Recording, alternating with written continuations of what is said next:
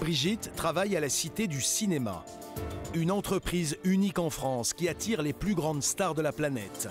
62 000 mètres carrés flambant neufs, entièrement dédiés au 7e art.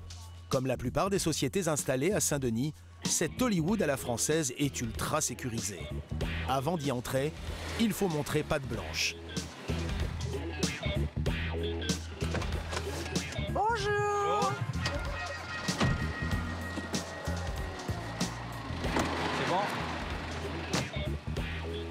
C'est systématique. C'est un site euh, privé, gardé, et on ne peut rentrer que si l'on est invité ou si on travaille ici, si on a une raison d'être ici. Après la fouille, Brigitte doit encore passer une dernière barrière avec son badge. Si ce lieu est si bien gardé, c'est qu'il renferme des trésors. Derrière ces grandes portes métalliques se cachent des plateaux de tournage. Ils ont été imaginés et conçus par le réalisateur français Luc Besson. Partout dans la cité, on retrouve sa marque, comme ces maquettes qui ont servi à tourner ses plus grands succès et d'autres qui font aussi l'admiration des visiteurs autorisés à pénétrer les lieux. Je trouve que de voir les voitures conservées dans les films, ça fait rêver. On se rappelle de, de plein de choses et puis euh, c'est vrai que c'est beau, on les voit pour de vrai, donc ça a existé pour de vrai. La DeLorean a existé pour de vrai. Allez, en golfette. Elles sont pas belles, mes golfettes? Mais elles sont magnifiques. hein?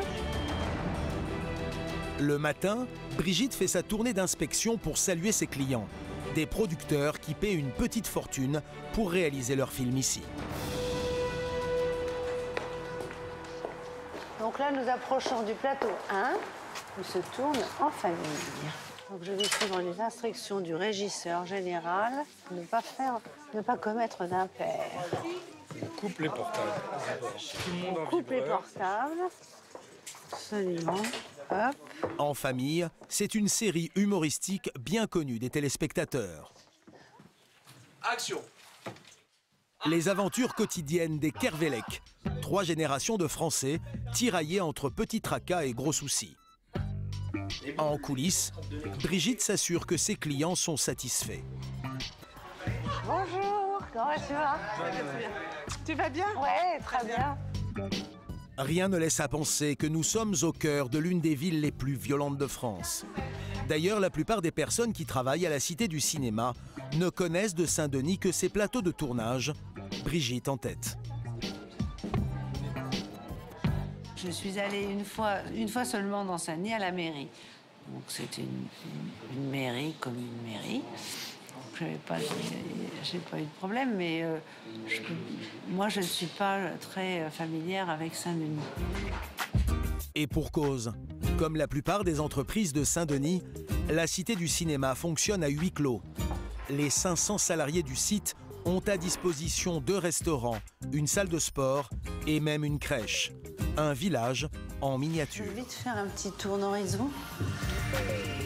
Et pour ceux qui ne viennent pas au bureau avec leur voiture, un service de navette a été mis en place jusqu'à la station de métro la plus proche.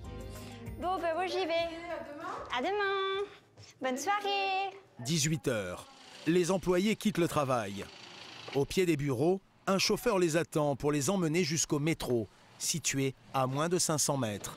Un service VIP indispensable pour assurer leur sécurité. Ah, Soyons honnêtes, ça a été un petit peu mis en place euh, pour ça au départ, parce qu'il y a eu quelques agressions.